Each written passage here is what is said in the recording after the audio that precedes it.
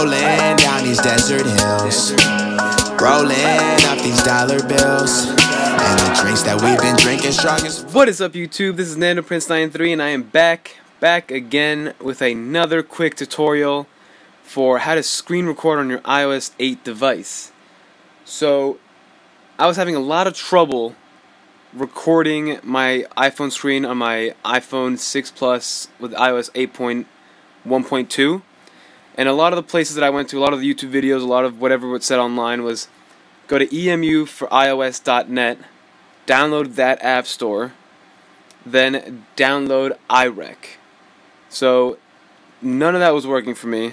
Uh, for some reason that got patched. Apple patched that. It was it wouldn't download. It would start to download and said download failed. Do you want to retry? The whole thing happened over and over again. So the more research I did, the more I found out.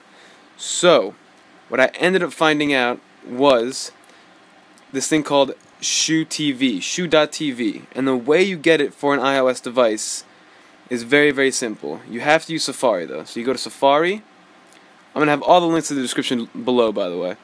And you go to inocydia.net. So I'll type it in for you. I N O, oop, back. I N O, cydia.net. It takes you to this web page. All you do is you press get Press it one more time. Let's see. And you just let it do its thing.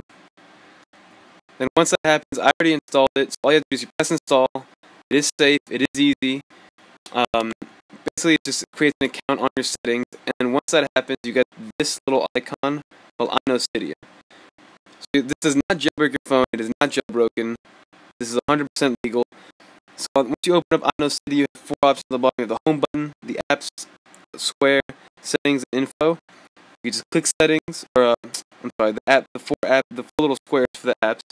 To packages, apps, and then you search SH, and there it is, shou.tv. Click on that. I'm not going to install it because it's already installed, but all you do is press get. It takes about a minute to install, and then the app comes up. As you can see, I'm currently recording, but all you have to do is you click on the record button. There's a, info button where the arrow is instead of where the numbers are to record.